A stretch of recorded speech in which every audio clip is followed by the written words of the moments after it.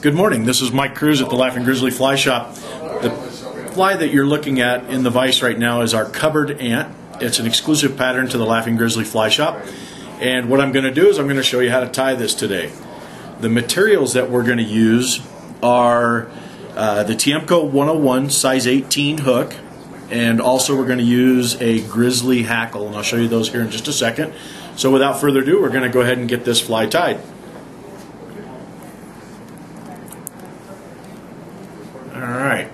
So now, putting the hook in the vise, now I debarb my hooks um, before I start tying. And the reason I do that, if you're going to break a hook, you want to break it now, not later.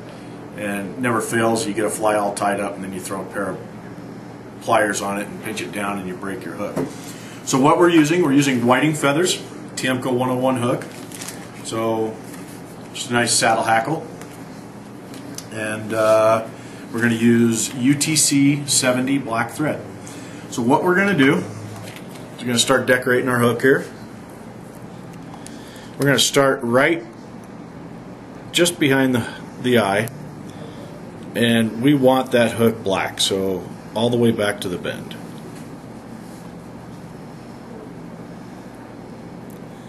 So right at the top of the bend.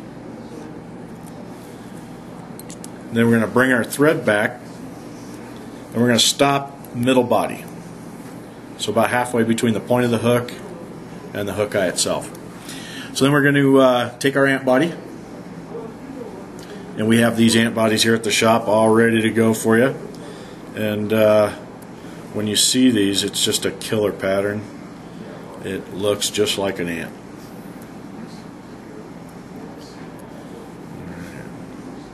There's the body right there. When it gets on the hook, it's even better.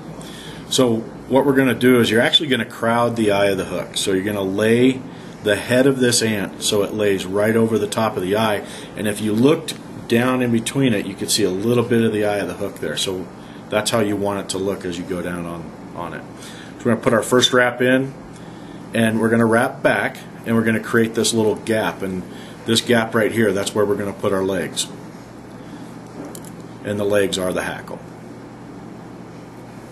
All right, now we're going to take a size 18 grizzly hackle, and you can use grizzly or black. It does not matter. Um, I use both.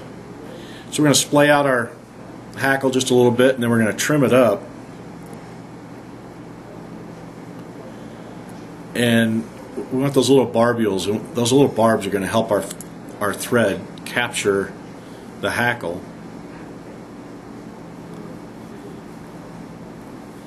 And then just bring your thread right around the hook eye, pull the head back a little bit, and I'm just going to hand wrap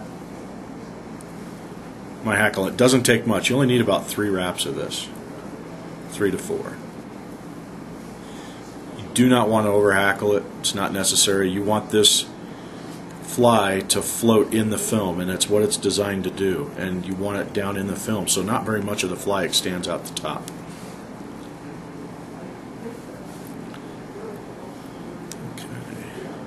Very simple tie, very easy tie.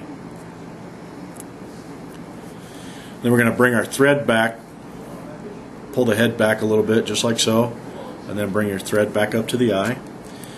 You're going to need a smaller whip finish. It makes it a lot easier to get in there, but you're going to get right in under there, under the head of the ant, and then just give it a few whips back in there. And that's it. You're done. Now, there's one little step. You do not have to do this. A lot of people will come in here and just cut the back end of this off. What I've done is just taken a little one step further, take a little bit of uh, Zap-A-Gap, and we're going to put some on a bodkin. Just a single little drop is all it takes. And we're going to put it between these legs. So all I'm going to do is just put it right up in here and between those legs. And then we're going to pinch those legs together.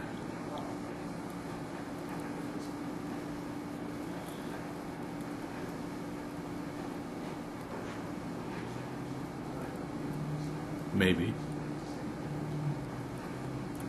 All right, so then it brings it back to a nice point, like the the abdomen of the ant comes back to a nice point in the back, and then your hackle is the legs, and then all you're going to do at the very end of it, you're going to trim it up just a little bit. And there you go. That is our cupboard ant right here at the Laughing Grizzly Fly Shop in Longmont, Colorado.